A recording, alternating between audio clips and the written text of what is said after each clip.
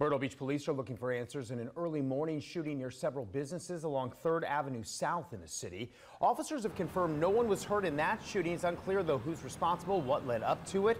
Our Eric Richards is live in that area now. So, Eric, what are residents telling you this evening?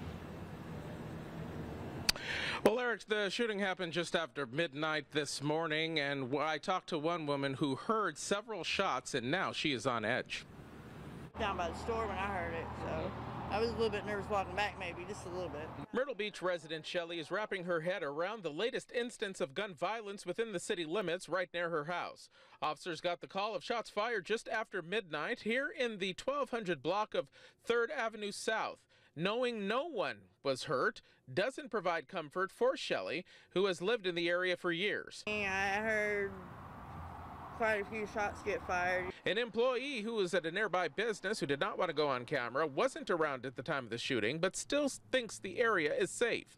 Meanwhile, Shelley hopes police find the shooter or shooters and that there is less violence near her house. When people put stress on people that is unnecessary sometimes, or you don't don't know what's going on in somebody's life. Mm -hmm. You know, things happen.